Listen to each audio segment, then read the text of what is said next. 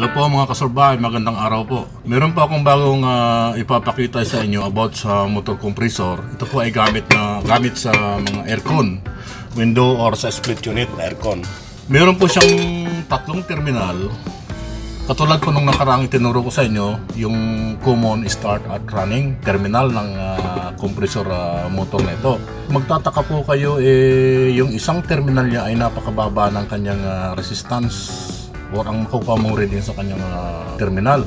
Hindi po dapat ah, abot sa 0.2 or 0.1, hindi dapat ganon. Ibig sabihin, pag may ganong kayong nakuha or nas- meron kayong nasukat na ganon, yun po ay may problema ang winding niya. Sigurado yan, hindi naiikot ang compressor ninyo or ang motor.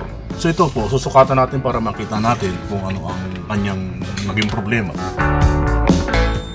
So sa unang linya, ah, sa unang terminal na dalawa, meron pong nasukat na 1.8. Okay, sa kabila naman, ito po ang nasusukat niya. Yan po. Ito naman, oh, 0.1, 0.2. Nakaba, napakababa po niyan. Hindi po normal sa isang compressor terminal ang ganyan. So, ibig sabihin may problema po ang loob. So, ito pong compressor na ito ay na biyak ko na to kanina. Nalagari ko na to kanina. Uh, hindi ko na pinakita sa inyo kung paano nilalagari ito. Pero sa susunod, kung ano, para makita ninyo, papakita ko rin kung paano il- nilalagari ang compressor. So, nabuksan ko na po yan. Ako ang loob niyan. Ito po ang connection. Yan ay nakatusok lang dyan sa tatlong terminal. Ngayon, ang pagtanggal niyan, ang kanyang ah, connection ng, ng motor. Sinus, sinisikot lang po yan dito. Pero ito kaya nang hugutin to eh. Ayan, nahugot ko na po. Doon doon po yan. Tinutusok lang po yan doon. Ito po. So yan po yan. Yan po ang tatlong terminal. So ito na po yung takip niya. So ito po ang nangyari nung nabuksan ko na po. Ito kaya naman pala dahil yung kanyang starting winding ay nasunog na. Ito po. Kung nakikita niyo po ito, na nangitim na ito. Ito po. Yan po ang starting winding, nasunog po. So ito po ang kanyang dahilan kung bakit ay napakababa ng resistance reading doon sa terminal na isa. Dahil po sunog na po ang kanyang ah, ah, winding na starting. So ngayon kung ito po ay kanina ay nakadikit pa yun dyan, pa yan dyan, nilagari ay kinating ko na siya ng tube cutter para mapakita ko sa inyo kung paano ito tinatanggal. Madali lang po, ito po yung muffler niya oh. Ginaganyan lang po yan. Yan. Yan. Then, may bolt po dito, ah, apat. Number 11 po ito. Naluwagan ko na rin po yan kanina para madali po ninyong, madali po ninyong makita ito kung paano tinatanggal. Ito po ang pagtanggal niya, no? Oops. Ito po. Sunog na sunog po ang kanyang wind, ah, starting winding. So kaya may nasusukat tayo napakababang resistance doon sa isang terminal. Ito po ang starting winding. Ito po ay napakasimple, isang piston lang po ito sa loob.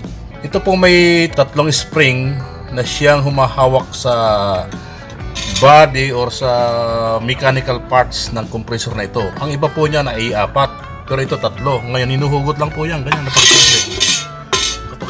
Simple lang po. Oops. Ito lang po siya. Ngayon, kung titignan po natin dito, para lalong maliwanag, ito, meron po siyang uh, ap apat din na tornilyo dito, or bolt. Size number 8 po yan, na 8mm. Para ipakita ko sa inyo kung paano siya nag, uh, nagtatrabaho sa loob. Po siya. Po siya. Cover lang po yan. Yan, sa langis po yan. Ayan lang po. Makikita niyo dyan ang ah, piston rod. Ayan po. So, ganyan lang po. Isang piston lang po ito. So, makikita niyo po rito, eh, meron pong isang outlet dito ng pipe. Ito po ay para sa discharge. Connected po siya dito. Dito, balik po muna natin para makita. po siya galing dito sa ibaba. Ito po ang connection niya sa loob. At dito, ito po yan. Ngayon, sa paghigop, dito po mga galing ang higop oh. Ito po yung suction niya, suction. Then, ipapump niya papunta dito. Papunta dito. Itong suction po, area, ito ang ah, discharge. Itong dalawang ito. Akit na rito. Ah, dito po, tapos lalabas po dito. Dito. At lalabas po dito. So, ito po yung discharge niya. Ito po yung ah, muffler niya. Tatlo po siya. Sa suction po, kaya po naman to nilagay para sa ma-less ang lessen ang ah, sound ng paghigop. So, yan po. Kasi dito po sa area na ito, low side. Ang high side niya po ay nandoon po sa discharge valve.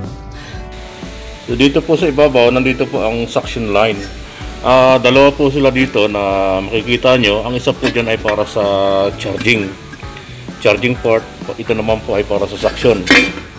So basta ang mga pipe na makikita nyo sa mga ah, full hermetic compressor, ang nasa ibaba niyan, palaging discharge po yan. Discharge line yan. Ito ang suction line, para sa suction line. Ito naman para sa charging port yan. Kargahan ng preyon, ito po. Kung makikita nyo, ganyan lang po yan. Ito yung butas ng sa suction line, yan naman po sa charging port ito. Kaya yung low side, nasa, nasa, nasa ibabaw lang siya. Hinihigop nito ito pong muffler para itulak papunta palabas dito sa discharge. So ganun po, ganun lang po kasimple ang trabaho ng ah, compressor na ito. Ganun lang po, napakasimple. Ito po ay compressor ng aircon, pati po sa mga compressor ng mga refrigerator ay iisa lang po ang operation niya. Ganun din po. Pero ang iba naman, ibang ibang style naman, ibang ibang pagka setup dito sa loob. Hindi po pare-pareho ang depende po sa kanyan size. So yun lamang po. So atin po babalik muna. Ito dito. Dali lang po ito. So, tornilyo, apat, lalagyan natin.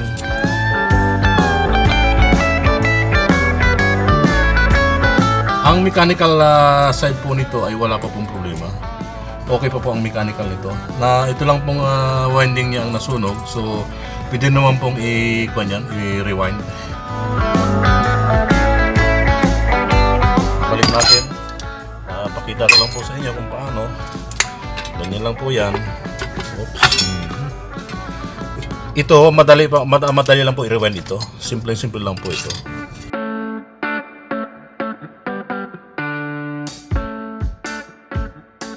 Ang langis po niyan hanggang dito lang oh. Hindi naman po yan na umaabot dito ang langis na sobra-sobra. Hindi po, dito lang yan. Depende rin po sa, may, may sukat po yan. Konti lang naman po ang mga nilalagay dyan. So, saka natin to ibabalik. So, i-rewind muna ito. Okay. Yun lamang po. Maraming maraming maraming salamat po sa inyong panonood. Maraming maraming salamat po